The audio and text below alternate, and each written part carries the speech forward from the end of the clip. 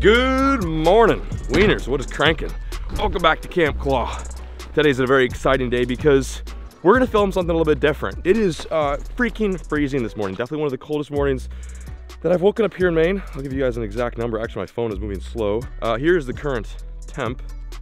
Just take a look at that disgusting, nasty. But what's nice is no wind today. So we figured cold temps, no wind, let's go fishing. And that's exactly what we're gonna do. We're actually on a very important big mission. Gonna be a cool video because we're chasing after fish I've legitimately never caught before. I've been fishing basically 21 years of my very young life and I've never caught one of these fish. That fish being the splake. If you guys don't know what a splake is, look it up right now or just wait in the video when I, I crank a big one. Hopefully, fingers crossed. It's basically a hybridized fish you take a brook trout, you take a lake trout, and then you make them make babies, and they end up looking like this. Wicked looking fish. They can't reproduce on their own. They're, I believe the terminology is they're, they're sterile, they're triploid, so they can't reproduce, but Maine DNR does a really good job of stocking them in some of the lakes around here. So we figured, Alex and I, pack up the new Red Runner, head onto this lake, try to catch some. Maybe we don't, maybe we do. At the very least, we can catch some lake trout, and uh, if we do, we'll bring them back and do a little catch and cook because everyone loves a good catch and cook. Also, we haven't eaten any fish since we've been up here, so it's good. We, we got to build up and bulk up for the for the for the cold winter up here. Definitely protein is needed. Anyway, I'm gonna cut this intro off. Hope you guys are excited. Stick with it, stay tuned, and let's have a day.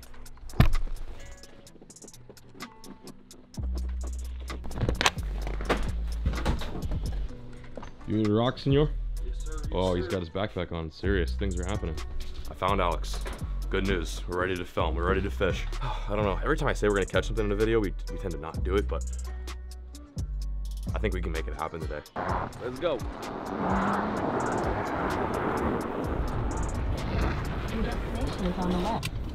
We've made it.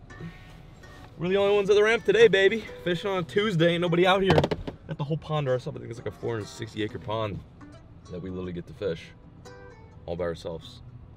Let's get after it.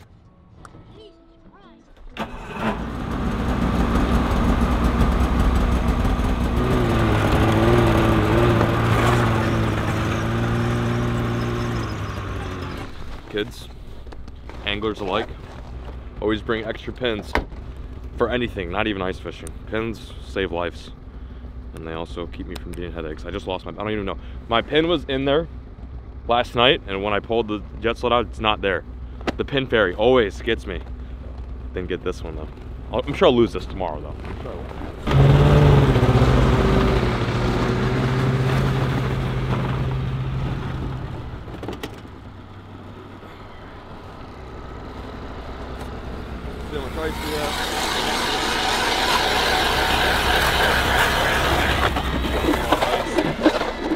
Clean water too, really clean water. 39.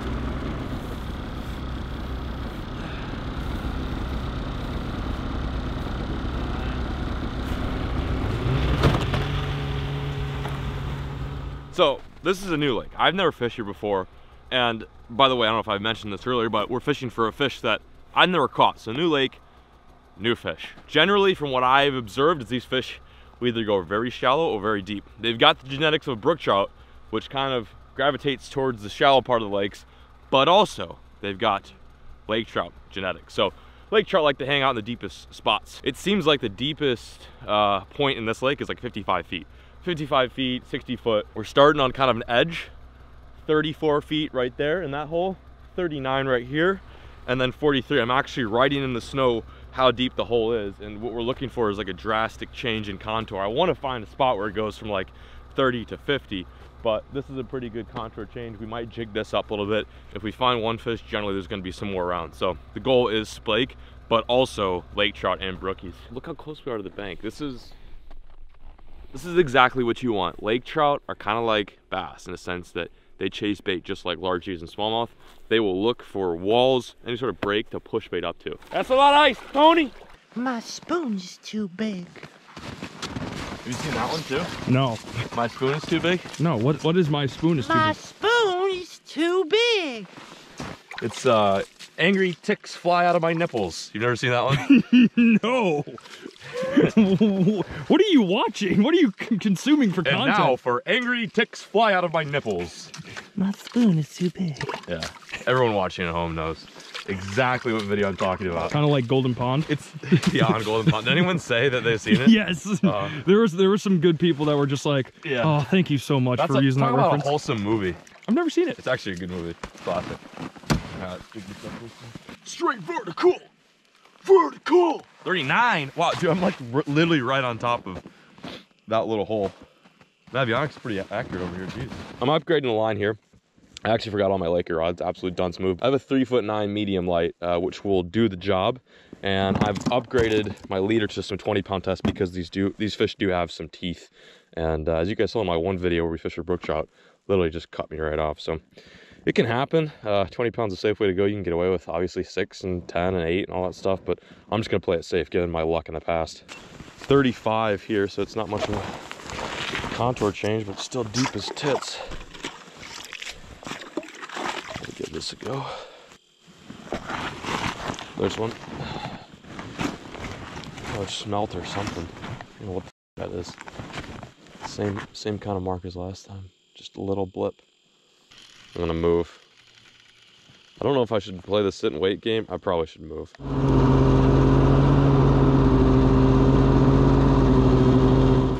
Running and gunning, my guy. Holy guacamole, bro. Nice. okay, I gotta stop.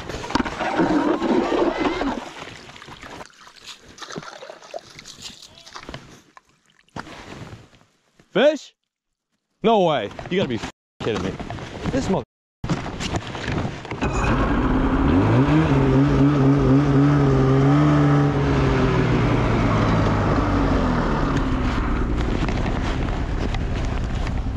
A splake, I reckon. Wow, nice job. Thanks, man. It's a weird look. Yeah, it is a splake. There we go. Alex with the first splake of the day. We actually did it. That's unreal. Oh man, so cool. I'm right? pretty sure it's a splake because its top looks like a brook trout. And it does have a forked tail. I mean, stretch out that tail a little bit, just see. Yeah, Uh, dude, it's- it's, it's definitely. I don't know. I'm gonna call it a lake trout just to be safe, but it might be a... I don't know. Yeah. It doesn't look like a lake trout. Anyway, get him back in the water. Nice fish. See ya. That was a spike. Slight fork in the tail. I would call that a slight fork. We should probably keep one or two too, because apparently they taste amazing.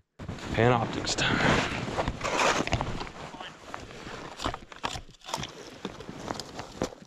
First splake ever.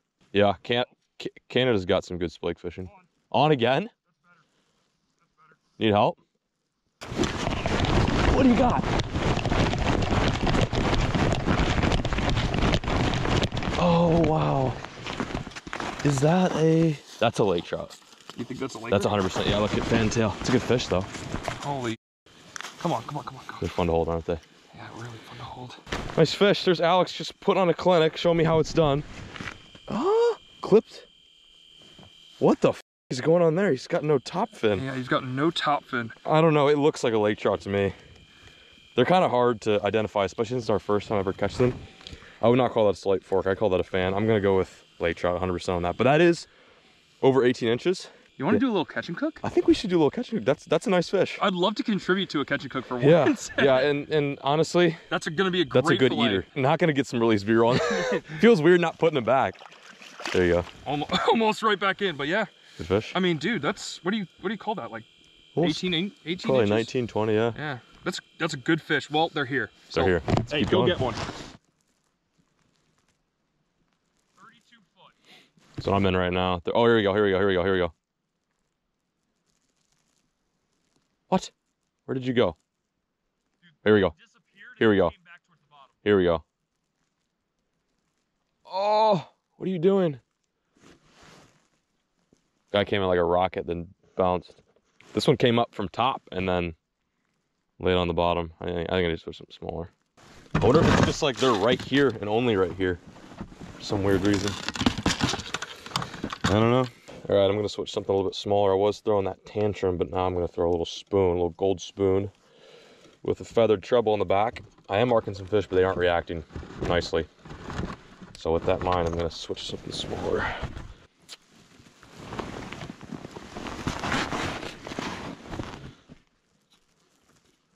Jeez, everything is freezing. Even though it's really not that cold out.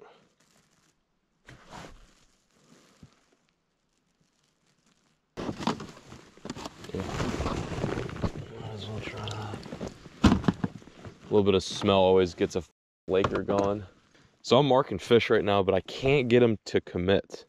Um, so what I did is I took a, a dead smelt head and I put it on my spoon. I just tipped the dead smelt head on one of my hooks, one of my treble hooks. And I'm gonna see if maybe just a little bit of scent is enough to get these fish to react. Sometimes lake trout just they love the smell of something dead or alive. Honestly, lake trout are just like catfish. It's like the best way to describe them to people who've never caught them before. Is they're they're greasy and they love stinky shit, and um, they fight hard, just like a catfish. And today they're literally right on the bottom like catfish. So I don't know. So, so this is definitely weird. Not what I expected, but it's good to see fish in the area.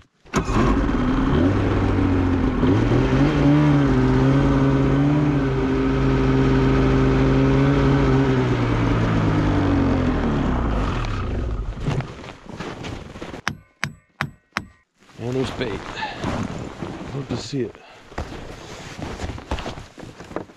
Just found some pretty deep water. As soon as I dropped my transducer the hole, just a bunch of bait came out of nowhere. Probably smelt. Very promising little spot. Still have yet to catch a fish. We're like an hour and a half deep. I still have yet to catch a freaking fish. Get a single bite. Struggle out here is real. Oh, here's a mark. Come on. There's a fish right there. Please eat it. Literally instantly, as soon as I dropped down, fish came up and looked at my spoon. Now he's gone. Oh, see that right there is the bait. Those blobs you see off to the right. Presumably smelt, maybe shiners, I don't know. But it's a good sign. 46 feet of water and tons of bait. Should mean there's some big fish right around the corner. Oh, that was a Laker. There was a Laker. That was a Laker. Come on. Come on back. No, come on back. Come on. Come on. Come on. Come on. Come on. Come on. There we go. I'm on. There we go. Hooked up. Just went in the school that bait and finally found a fish. Love to see it. Ooh, that's a splake, I think. Is that a splake? That is a splake, I reckon. Yeah. I'm not gonna say for certain, but I'm like 90% sure this is a splake. It's got a slight fork in the tail. Um, brook trout have fantails. Lake trout have very slender forks, and this is kind of a cross between the both. Again, don't quote me on this, but I'm like pretty sure this is a little splake. Not actually a bad one. Nothing clipped on it, which leads me to believe that maybe it isn't a splake, but the patterns are awesome. These are really cool fish. My first ever splake, and to do it through the ice is pretty wicked. There's just a ball of bait down there, and he came up and crushed it above the bait. You can eat these guys, um, and they are stocked fish, so they don't normally reproduce. There's only a few places in the world where they, they can naturally reproduce. So we are going to keep just one today, see how they taste. I've heard they're ridiculously good. Plus, I had to gill them a little bit just to get them out of the hole. But anyway, first ever splake. Beautiful little guy. I'm to harvest this dude tonight, and it's to go really good with that uh, lake trout that Alex caught. Pretty little fish, though, man. So cool. we did it. Freaking splake. Beautiful scenario. Absolutely wonderful. Mission accomplished. I can't believe we did it. I woke up this morning and, and started that intro for you guys. I was like, we may make it happen. We may, may we may catch a splake. We may not. They're not the easiest fish to catch around here, and we're you know in a place that's not too far from pretty populated area. So it's cool to be able to come to a new location and catch a species I've never caught before. Basically a hybrid mega species.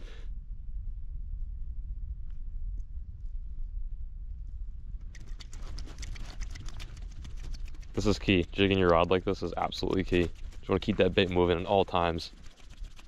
Make sure the tip is hitting the water. Oh Jesus, is that actually a fish? Oh my God, I did not just do that. That was really stupid. That, oh my God, there's actually a fish down there too. I'm gonna break my rod. Literally, I decided to absolutely myself. Wow, that like wasn't funny. Oh my goodness. Okay. Um. Wow, my brain hurts just looking at this. So you guys laughing, I've had to uh, sacrifice a bit of pain. It's self-inflicted pain, by the way, so don't feel bad for me, obviously.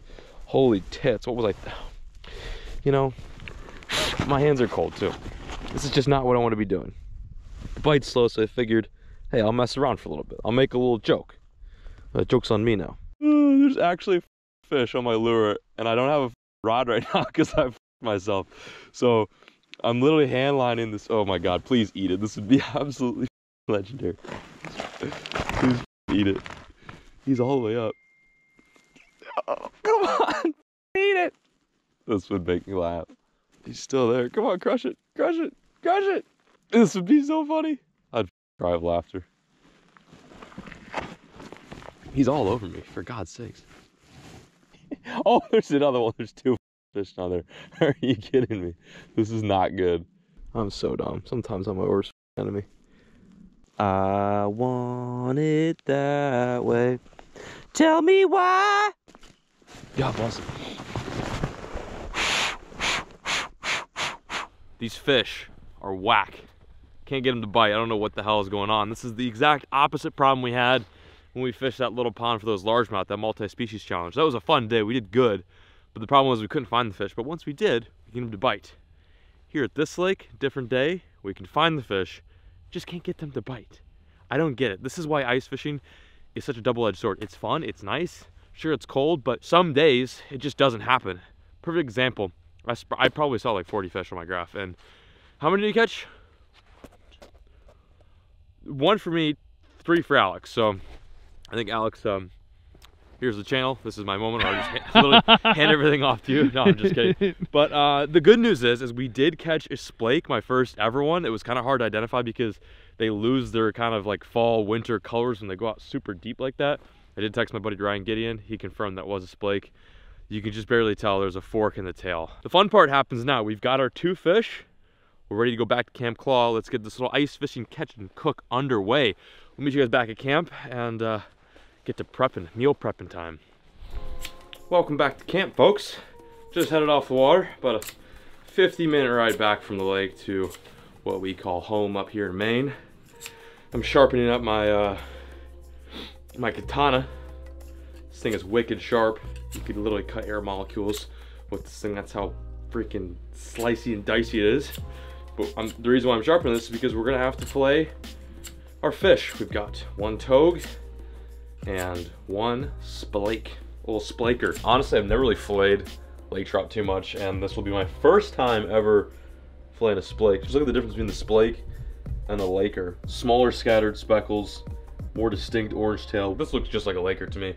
And the other guy looks more like a, a brook trout splake mixture. But in the fall, the splake will look a little more like this. But seeing as it's wintertime and this fish was deep, he's lost all of his cool colors. Okay, we're gonna try our best to fillet this guy. Oh my God. Basically, I'm just gonna gut him and uh, cook him whole. That's like a really awesome way to cook trout. Again, I don't know the best way to do this, but we're gonna just try our best here.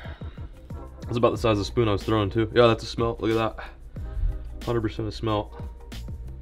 Which is so funny because we had two auto rods set up with live smelt on them and nothing touched them. I pulled them after they'd been sitting for three hours and they weren't even touched. So it was weird. So they're down there eating smelt, but for some reason they weren't eating our smelt. Rude. Just gonna get the rest of that gunk out and then we should be straight. Looks like a pretty decent fillet. Kind of a light pinkish meat. Not really what I expected. Looks good. There's a lot more going on here with the Laker. Look at that meat though. Some really good meat there. Here we go. Here's our fillets. Lake trout, splake trout. Good looking fillets. What we're gonna do now is we're just gonna stuff these guys full of some flavor, some goodness, and then we're gonna throw them on the Traeger for a bit. And then we're gonna eat, we're gonna enjoy, we're gonna feast. That's what everyone needs to do after a long day ice fishing. Just feast, just eat.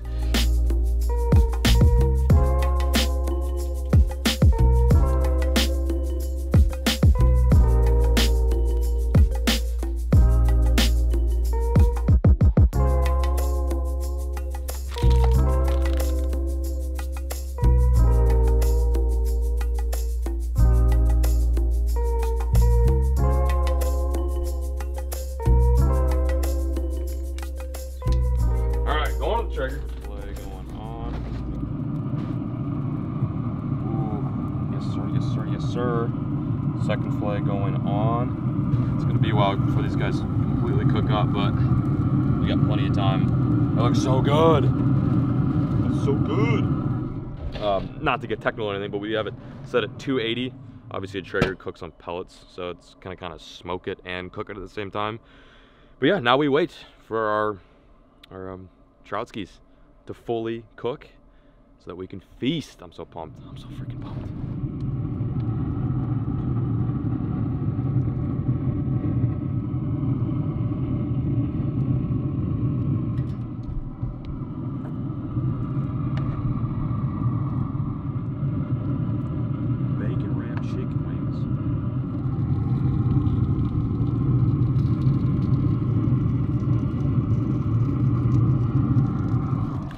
Home Depot dad etiquette right here to do this. All right, here we go. Oh my gosh. Look at that. Oh my gosh, look at that. Woo-wee. That looks phenomenal. I might have actually done something good here. The chicken has a little bit longer. Fish cooks faster than the chicken. Looks like we've got some pretty good food to eat tonight. I'm in awe. It obviously looks good. It looks authentic. We've got the garnishes. We've got the seasoning on there. But the million dollar question, does it taste good? Let's find out. I'll give you a piece and you can try it. We've got we've got Kayla here. She's gonna she's gonna try some of this lake trout. You ever had lake trout before? No. First time. So this is lake trout and this is splake. Splake is a cross between a lake trout and a brook trout. A little fun fact for you. Okay, so let's try the lake trout first. I'll try it and then. Okay. I'll pick it. Yeah. Honestly, if you do get a little skin, it it'll make it taste not bad. So don't be afraid of the skin. It tastes really good, actually. Really? Yeah, I'm surprised. I thought it tastes kind of fishy, but No, not at all. no. Mm-mm. Okay. Try this one now. This is the one I'm excited about. Splake is supposed to taste really good. Wow. Holy nut. Oh my god, Oh, look at wow. so much better, right? Well, Look how it just falls apart. The splake is so good. This is my first time ever catching splake, eating splake, cooking splake. And it's really delicious. little bone there. Not bad. no, but I know there's bones. There's the gonna bone in my mouth doesn't taste delicious. There's no, you're supposed to, it's a delicacy. You're supposed to eat it. Yeah, it's Here, would you not like mine? delicacy To me. Okay. Oh, yeah. I'll say that one for you. There you go. No. So, which one do you like the best? Go. This one. The spike. I Yeah. don't know. It's more pink, if you notice. This one tastes good, though. Yeah. It's more mild. It's. It doesn't taste fishy. I'm just gonna say it. It's. It, it is fishy. It does not Lake taste trout, fishy Lake me. trout is always kind of sus, No, it does not taste fishy. mushy too. You think that tastes fishy? I think this tastes more like fish. This tastes more like chicken. Chicken, interesting. Alex is a seafood Connoisseur. Connoisseur. connoisseur, so I'm really it's not curious. connoisseur, it's connoisseur. Connoisseur Rex. I'm really curious There's to see what his opinion on this trout is. So that's a lake trout you just want to bite for. So mild. It's like it's It really Tastes really like chicken almost. Doesn't, doesn't it? have a lot of flavor, honestly. No, No. Uh, it tastes like chicken. But it's really good. Yeah. It's moist, yeah. falls apart. Honestly, this is what we really need to try. Yeah, try the skin. Actually, the skin's good. A little bit of Fishy. bones. That's what I had. I just But spit it out. Went Honestly- got bones. I caught that fish. Yeah, it's a cool feeling to harvest your own catch and then have Jon B cook it off the Traeger. Yeah, just Spons. Not Yeah, sponsored. not sponsored. not sponsored. Spons. Should be Hashtag not sponsored. sponsored. Thanks, Traeger. Yeah, thanks, Traeger. Let Maybe me just one day. Okay. that The together. skin cooked really well. Like it's the way to do it. Oh, it's like so much better. It Isn't isn't it? it? Yeah, So it's much- like ridiculously better. Isn't it? So And much they were better. seasoned the both. They were seasoned the same way too. Just hundred percent. Yeah. Oh, that one Congrats, tastes like more like salmon. salmon. It's Yeah. more of a true like trout salmonoid taste. More, It tastes more fishy though, doesn't it?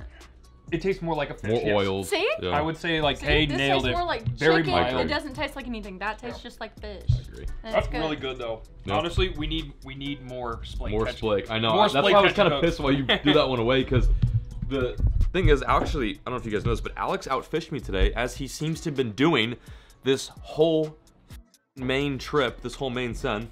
But at least we're catching fish. That's all that matters. Anyway, what I was trying to get at is when he first caught that splake, I looked it up and I was like, do splake even taste good? And the general online consensus is that they're actually a better eating fish than brook trout, which I've heard is delicious, and they're a better eating fish than lake trout, which is kind of a coin toss. Some people love it, some people hate it. I'm very neutral with lake trout, but it's good protein and they're abundant here in Maine and in the north. So I'm glad we got a chance to do this. This was good. This was fun. If you guys want to see more catch and cooks, more trout fishing missions, let us know in the comment section but We will make it happen. But that's it. We're saying goodnight here at Camp Claw. We appreciate the view so much, and we'll catch you guys next time. As always, folks, keep fishing. Never stop.